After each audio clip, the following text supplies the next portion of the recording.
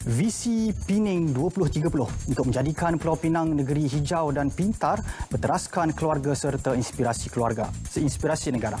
Selaras ini, Kerajaan Negeri Pulau Pinang yakin pembentukan Jawatankuasa Pembangunan Wanita dan Keluarga dapat membantu negeri ini mencapai perkembangan positif. Menurut Ketua Menteri Cho Kon Yu uh, berkata jawatankuasa ini telah ditubuhkan tahun lalu untuk mendapatkan maklum balas, cadangan atau idea dari akar umbi bagi menggubal dasar yang akan memperkasa wanita dan juga keluarga.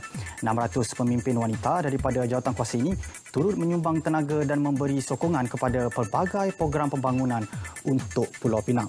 Ia selari dengan hasrat kerajaan negeri iaitu membentuk kepimpinan wanita yang dapat mengisi kekosongan di peringkat pembuat keputusan.